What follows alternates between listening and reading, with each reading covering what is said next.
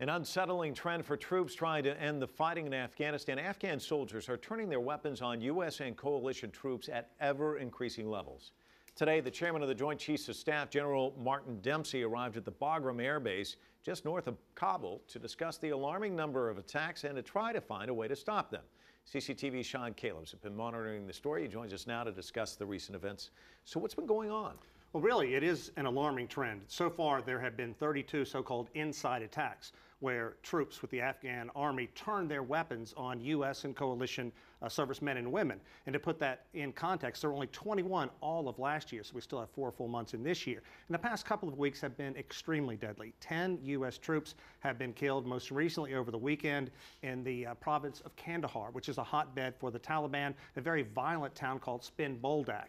Now, the Taliban has made no secret about this one of their main goals this year is to try and recruit people who are sympathetic with their ultra conservative religious based cause and try to get them to join the Afghan army. Once in, then they want them to initiate these uh, deadly assaults. So it really does a lot to the morale as you can imagine, of the troops, especially the U.S. troops, who right now are probably counting the months before they go home, and they have to worry is the guy that I'm supposed to be working with, mentoring, training to take over this country, is this a person who's going to turn his weapon on me in the near future? So certainly this is having an impact. Oh, very dicey indeed. Eh, eh, you said they make no secret about their goal.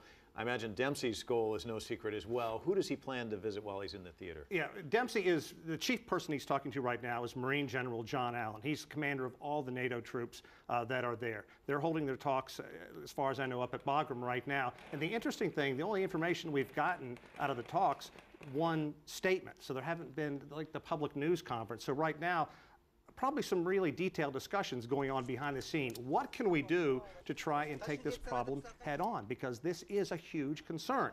The whole uh, blueprint, if you will, for the plan for the Afghan troops to take over once the U.S. leaves in 2014 is to train what will be a 360,000 large uh, force of Afghan soldiers to take over the country. Now, if they have to worry, uh, is it being infiltrated by Taliban troops? Are there concerns that they could turn uh, either on the U.S. troops or even worse, uh, you know, turn out in mass and cause some serious mm -hmm. concerns uh, in the future, especially the people that they're guarding?